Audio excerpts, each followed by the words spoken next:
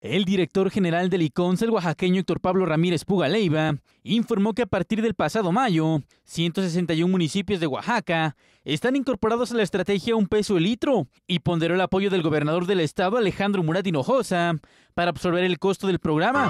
Y ahora con un acuerdo con el maestro Alejandro Murat, pues es el primer estado que va a otorgar la leche no solamente a un peso, sino que gratuitamente, porque el gobierno del estado pondrá el peso que hace falta hacerlo gratuito en el estado de Oaxaca el producto. Ramírez Pugaleiva también destacó el convenio inédito firmado por Liconza y la Secretaría de Gobernación que dirige Miguel Ángel Osorio Chong para combatir la violencia contra las mujeres. Este es el primer acuerdo que la Secretaría de Gobernación hace con un programa social. Estamos poniendo el ejemplo a nivel nacional.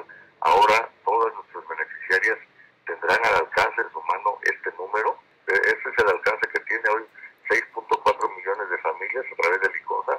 Se estarán enterando de este, de ese número telefónico y de los apoyos que el gobierno de la República a través de la Secretaría de Gobernación y de Liconza se da para evitar el maltrato contra la mujer. MBM Televisión